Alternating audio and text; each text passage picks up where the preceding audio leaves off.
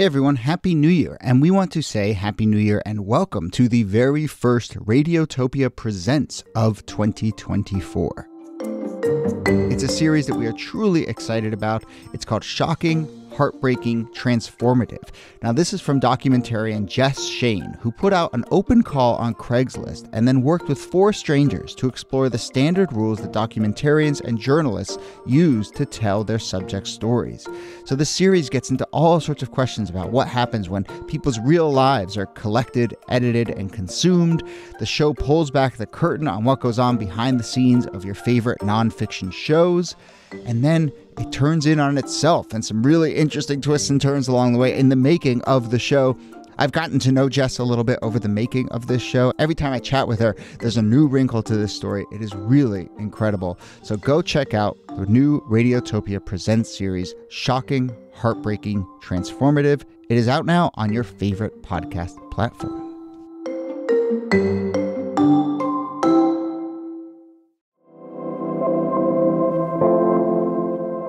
Hello and welcome to This Day in Esoteric Political History from Radiotopia. My name is Jody Avirgan. This day, September 22nd, 1842, the banks of the Mississippi River in Alton, Illinois are crammed full of spectators awaiting a highly anticipated duel. A showdown between a man named James Shields, who you probably have not heard of, and another man, his chief political rival, a guy by the name of Abraham Lincoln, who I hope you have heard of. Uh, so, what in the world is a young Abraham Lincoln doing standing on what is known as Bloody Isle in the middle of the Mississippi River, about to duel with a rival? Let us find out the answer to that question. I'm joined, as always, by Nicole Hemmer of Columbia. Hello, Niki. Lincoln is getting known more and more every day, more and more famous. there you go. Fairness. Hello, Jody. And Alexis Coe is back with us, author of the New York Times bestseller "You Never Forget Your First, and uh, repeat guest on this show. Thank you for joining us, Alexis. Yeah, I'm so excited. People are starting to talk about Lincoln too. It's it's really great. Little known fact, guys, he was a Republican. People don't know that. Yeah. You don't ever hear that. It's not in the history books, but it's true. Okay. Republicans are okay. Never mind. Can we can we can we stick to the actual little known facts about Lincoln, which is that he almost got in a duel, which uh, to me at least I, was is relatively new. So Alexis, I will start with the question I asked in the intro: What in the world is a young Abraham Lincoln doing standing on Bloody Isle in the middle of the Mississippi, about to get into a duel with James Shields? First of all, people always sleep on young Lincoln, who was fighting left and right with people, not dueling. This is rare, but he was giving these impassioned speeches against the Mexican American War. And, you know, he isn't the Lincoln we think of now. He's a Lincoln who's like trying to make a name for himself. There's um, a problem in Illinois, which is that uh, the banks are no longer accepting paper currency from citizens. And this happens throughout early America, where suddenly they're like gold or like, we're not accepting, you know, currency came in all sorts of forms. Sometimes people paid their rent in, you know, bushels of, of whatever. Um, so it's pretty difficult. This happens uh, like every rebellion. They're always like, give us gold and silver, and then people freak out. Um, Shields was in a difficult position. This this person who's going up against uh, Lincoln because he was the state auditor, um, and he wanted to close the bank. There's like a bunch of uh, bad letters going back and forth that are published under uh, pseudonyms. This is also a big thing in America, and Lincoln says some things about Shields and the ladies, and um, nothing that bad as I remember, but but it you just don't do it, and basically challenges him to a duel, right? Which is kind of amazing because we had an episode not too long ago about the bank wars, and here you have mm. sort of the the physical manifestation of the bank war. The banks have closed, and now here two guys. I guess they're not really fighting about the banks, but they're kind of fighting about the banks. Yeah. But it is a reminder of how how much um how heated people got about uh, monetary, monetary policy, policy back then. But also, Alexis, to your point, I mean, these letters that are going back and forth. Lincoln is a state representative at this point, um, but these letters going back and forth. I mean, I think way back when we did an episode about the caning of Sumner, and somewhere in there, mm. there was always that moment where like someone says something about their opponent and women and like that yeah. always feels like the moment where the gloves come off and the duel starts to happen i mean it's just like when it gets personal is it just is this just an era where no matter who you are no matter what policy argument you're having if someone just says something about your personal life then here we go it all falls under honor.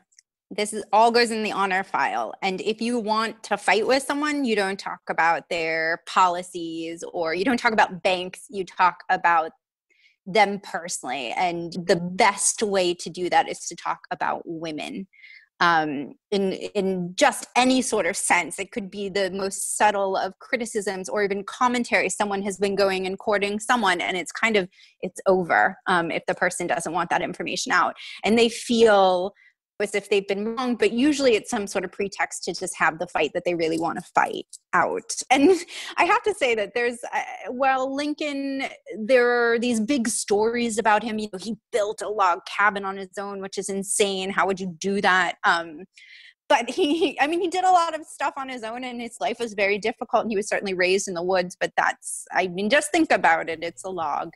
Um, but I think that that the the young Lincoln. Um, he's very tall.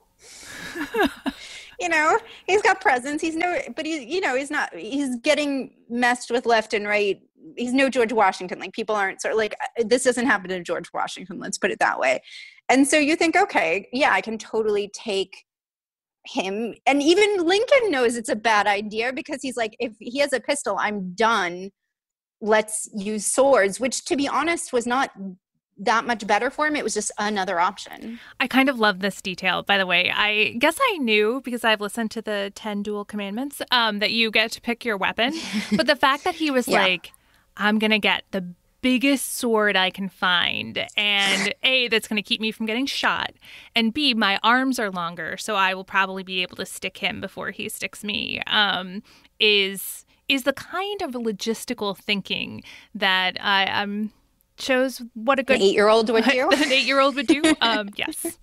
Yeah. Does, does, not show him as the guy who's going to like win the Civil War down the line. Yeah. So I mean, and it kind of works, right? I mean, so just to sort of paint the scene here, they go out to Bloody Isle, which I guess from what I gather is like a sort of like a sandbank in the middle of the Missouri, which has this name Bloody Isle because it's where people would go to duel. It's not too far from St. Louis, but like you know, you have a physical space that is just known as the dueling spot. So they go there, um, and they have decided they're going to use swords, and and they're standing a few feet apart, and there's like a plank between them, and Lincoln picks up his sword and what like chops down a branch that's over Shields' head, and what happens? Like Shields just realizes like, oh, this guy has like really long arms and a really big sword. I don't want to be a part of this. It worked. That's the thing. It's sort of like when you um you know it's like it's like six dogs in a trench coat basically. Like but lincoln sort of came correct and and shields who was like pretty average size even like a little bit tall for the age. Lincoln again it's very tall um, was sort of like oh maybe this matters or maybe lincoln has some secret moves. And again this is about honor. And what he does here is actually really far more remarkable than challenging Lincoln to the duel itself. He walks away. And it's hmm. not just remarkable in the moment because, again, honor is everything. And think about that. Why we think of it as honorable. Why would you die over something so dumb? Everyone's watching, everyone knows it's happening. It's a pretty big deal. He's losing a lot of face, but he does. And we are very grateful to him for it we don't read about Shields in the history books, but he does mm-hmm. go on to have a pretty memorable career. He bounces around Illinois, Minnesota, Missouri. He becomes a senator from each of those states, um, which is a hat trick that not many people in history have pulled off. He founds a town in Minnesota, calls it Shieldsville. Pretty on the nose kind of name, not that creative, yeah. but still like yeah. a legacy and then he fights in the Civil War under Lincoln, um, which is a pretty impressive doubling back of their stories across one another. Yeah, not only that, Lincoln promotes him. he recognizes, which is so funny because, of course, Lincoln isn't fighting. He's in the Oval Office, which is a very important place for him to be. But of course, Shields is. He could have, again, totally taken Lincoln, but didn't. Um, had he been the one to choose the weapon. And he does well for him. They decide that they are actually on the right side. Whereas, like, when you hear, when I heard, you know, your transition, you think it could go a very different way. Okay, he's named a town after himself. This is not that that was that uncommon, but this is a guy who maybe is going to take this to the grave. Nope, they fight together on the on the side of relative good. Yeah, though by all accounts, you know, they do get asked about this throughout their careers, and I don't think mm-hmm. they ever, I don't think they ever like became friends, but they just sort of acknowledged that this was in their history, and they and they moved on. Um, I'm going to ask a question that I don't even know if I can get through with a straight face. But does this lead to any any um, bank reform uh, in the wake of this duel? Let's get back to the important part. Monetary yes. policy. yes, exactly. I feel like by the time you're standing on a plank in the middle of the Mississippi River, uh, you've sort of forgotten what you what, what you were actually there uh, about. Um, so I, I want to wrap up to something, Alexis, you've touched on a couple times, but I do think is fascinating, which is we have so much mythology around Abe Lincoln. And we actually have some early mythology around Abe Lincoln, right? The log cabin, uh, even like he was a postman. Mm. You know, there's some people. I know you maybe think differently, but some people think he was a very attractive young man. You know, like, there is a statue well, of young Abe Lincoln oh. that is oh, extremely oh, yeah. hot. I'm just throwing yeah. that out there. Fair enough. There's some okay. evidence. He's right? very hot. He kept the union together. I certainly prefer him to the guy who started the union. If if that's the game we're playing here, who you know, study Marry Kill. exactly. We'll play that game. It's okay. Listeners can, can email us with that. Study Marry Kill uh, for for presidents for early presidents. But but but like, why in the world is this not in that you know five things about Lincoln that everyone knows? I mean, this seems like so tailor made for that hagiography.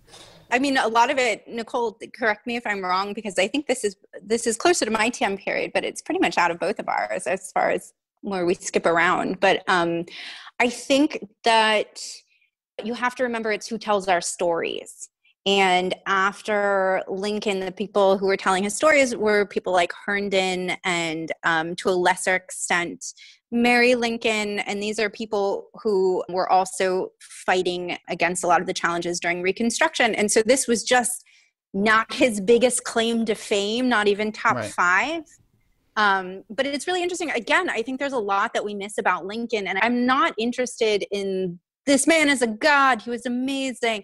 I'm really interested in how someone becomes a Lincoln, a Washington, a Kennedy, a Ford, a Carter, who you name them. Um, I think this should be a part of his formative you know biography as as much as having a mean dad and being kind of a jerk by the way. Like he yeah. was mean about women very often when he was young and sort of mean about mary todd lincoln. Mary lincoln she didn't like todd. Yeah, I think that that is maybe that will be your next book, but like how somebody goes from being kind of a cruel backwoods guy to being someone who people really admire and who um, is obviously very high in your uh, study Marry Kill rankings. yeah, and and I will say, you know, the story of Lincoln does is getting like layers added to it. I mean, I don't think people were talking about Lincoln and depression, you know, 10, 15 years ago, and now that seems to be part of his sort of sketch of who he is, and so maybe the duel will work its way back into the the mythology. I think uh, that's also part of it is that, you know, nothing happened. And right. so everyone's like, eh, it was fine. He had some yeah. more interesting things. But I think um, it is fascinating that it's not at all a part of his his biography and i think though you bring up depression and and just as a foil a part of the reason that has been such a story for the last 15 years is because the story of depression has mm-hmm. grown right. um, and so people really identify with that with lincoln i know so many people who have asked me about it um, and it's something they can relate to in a way that they can't actually relate to a whole lot personally um, but depression and seeing it in his letters and the way he talks about it it feels very modern. And if you have experienced it yourself or you have seen it in someone else, you can understand it. Whereas, you know, failed fights, we go sort of get over it. All right. Well, that's a good place to leave it. Uh, Alexis Coe, thank you as always uh, for coming on. And thanks again for doing this. Thank you to both of you. And Nicole Hemmer, thanks to you. Thank you, Jody. This Day in Esoteric Political History is a proud member of Radiotopia from PRX. Our researcher and producer is Jacob Feldman. Brittany Brown is our other producer. Follow us on social media. We're posting a bunch of stuff on Twitter and Instagram every day at This Day Pod. Keep sending us emails, thisdaypod at gmail.com. My name is Jody Avirgan. Thanks again for listening, and we'll see you soon.